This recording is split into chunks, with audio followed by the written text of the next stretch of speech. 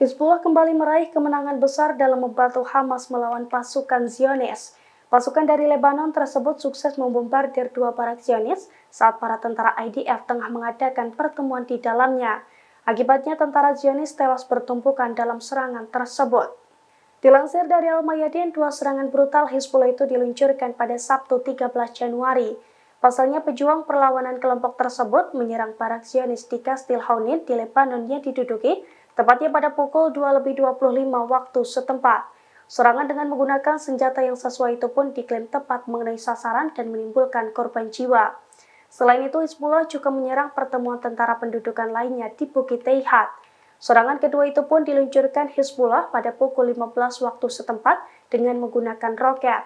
Serangan kedua Hizbullah itu pun diklaim tepat mengenai sasaran dan membuat tentara tewas bertumpukan. Di sisi lain, Hizbullah juga mengumumkan bahwa pasukannya meledakkan pemukiman Tula yang diduduki.